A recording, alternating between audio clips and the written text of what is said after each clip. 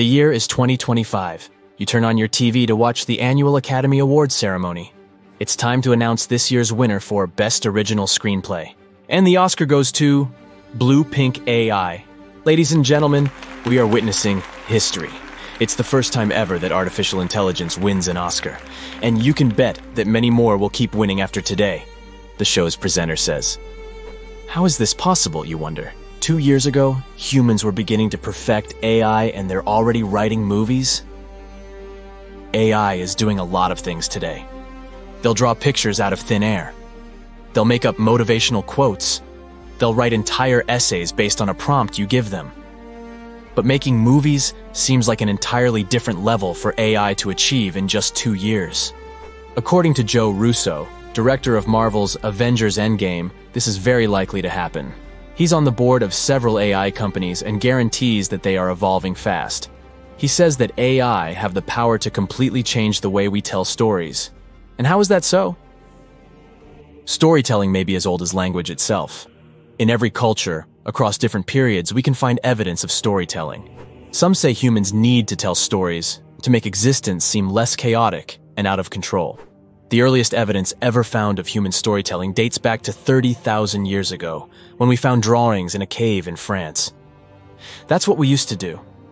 When we didn't have pen and paper, we drew on cave walls. We illustrated facts using our hands. Then we wrote on pages.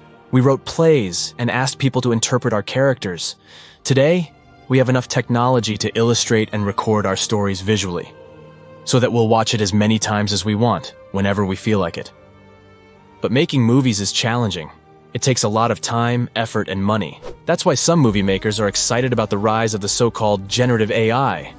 In other words, artificial intelligence is so clever that it's capable of generating scenes, scripts, characters, dialogue, soundtrack, and the list goes on and on. Picture this. You're a Hollywood producer. You receive an infinite amount of scripts every day.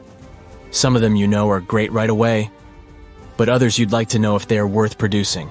Today, you can ask for an AI to analyze the possible success rate for that movie, how much it would make at the box office, and if it's better to do a wide or limited release. Of course, they can get it wrong. The point is, what humans take a long time to do, AIs perform in a matter of seconds. If you're an independent movie director and you need to go location scouting, you can ask an AI to do that for you.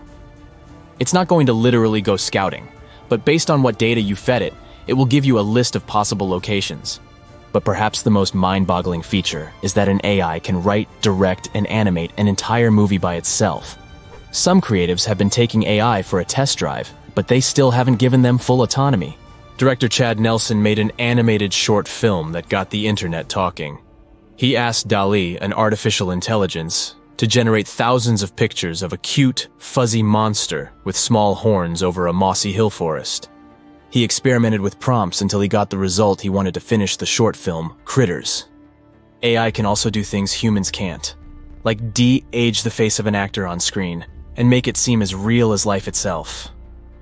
That's the case with Harrison Ford in the new Indiana Jones film. He appears as his younger self, even though he's 80 years old today. For OpenAI's president, Greg Brockman, AI can enhance people's movie experience by making it more immersive and interactive. Let's say you had a tough day at work. You get home and you're in the mood for watching a lighthearted rom-com.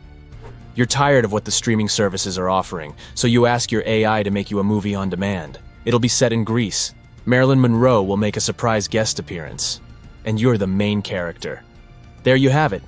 You're now in a 90-minute rom-com starring yourself.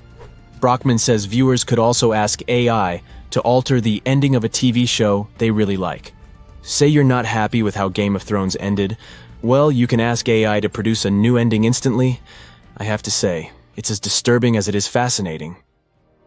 All this talk of what AI can do is making me feel like trying something out.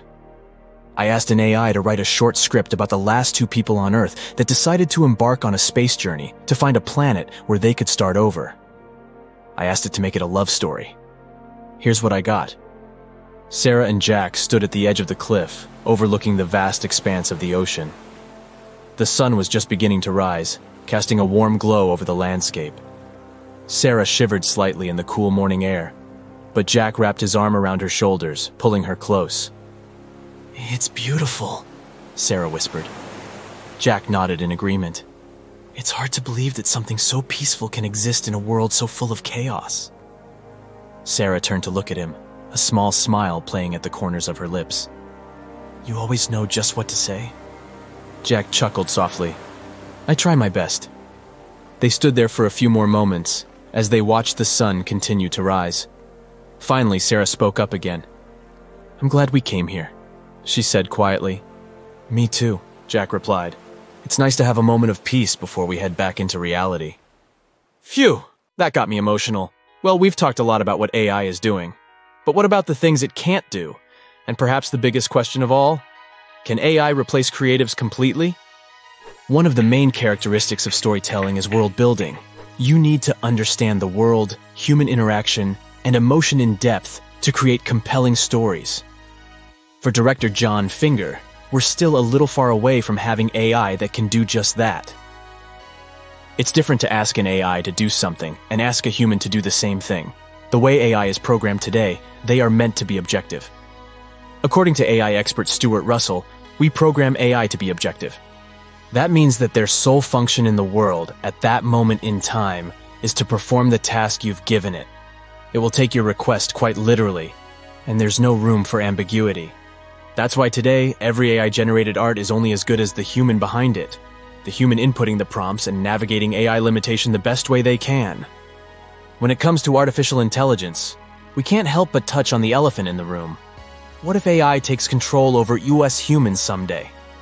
I asked our AI buddy to write a tiny script about that, and this is what it came up with.